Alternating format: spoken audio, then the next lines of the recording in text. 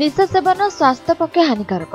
ଆଉ ନିଶାଠାରୁ ସମସ୍ତେ ଦୂରେଇ ରହିବା ନିହାତି ଦରକାର ବୋଲି କୁହାଯାଉଛି। ହେଲେ ଏ ନିଶା କେବେ କାହାର ଜୀବନ ବଞ୍ଚେଇଦେବ ଆପଣ ବିଶ୍ୱାସ କରିପାରିବେନି। ହଁ ଆଜ୍ଞା। ଆମେ ଆଜି ଆପଣଙ୍କୁ ସେମିତିକା ଏକ ଘଟଣା ସମ୍ପର୍କରେ କହୁଛୁ।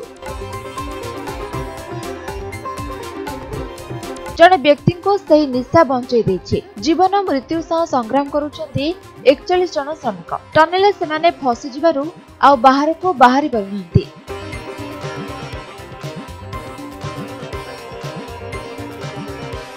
ହେଲେ ଜଣେ ଶ୍ରମିକ ବିଡି ପାଇଁ ସେଠାରୁ ଜୀବନ ବଞ୍ଚାଇ ଫେରିଛନ୍ତି।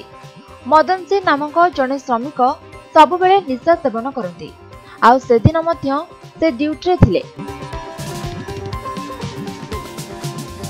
ହେଲେ ଦୁର୍ଘଟଣା ହେବା ଆଗରୁ ସେ ବିଡି ଟାଣିବା ପାଇଁ ବାହାରକୁ ଆସିଥିଲେ। ପାଞ୍ଚ ମିନିଟର ବ୍ରେକ୍ ନେଇ ସେ ବାହାରକୁ ଆସିଥିଲେ। ଆଉ ବିଡି ଟାଣିବା ପରେ ହଠାତ୍ ଭୂମିକମ୍ପ ପରି ଶବ୍ଦ ହୋଇଥିଲା। ଟନେଲର ଚଟାଣ ଭୁଷୁଡ଼ି ପଡ଼ିଥିଲା। ମଦନ ସିଂ କିଛି ଉପାୟ ନ ପାଇ ଦୌଡ଼ିଥିଲେ। ଦୂରରେ ସେ ଟନେଲ ଭୁଷୁଡ଼ିବାର ଦୃଶ୍ୟ ଦେଖୁଥିଲେ। ତାଙ୍କ ଆଖି ଆଗରେ ଟନେଲର ମୁହଁ ବନ୍ଦ ହୋଇଯାଇଥିଲା। ତେବେ ସେ ବିଡି ଆଜି ତାଙ୍କ ଜୀବନ ବଞ୍ଚାଇ ଦେଇଛି ବୋଲି ସେ କହିଛନ୍ତି।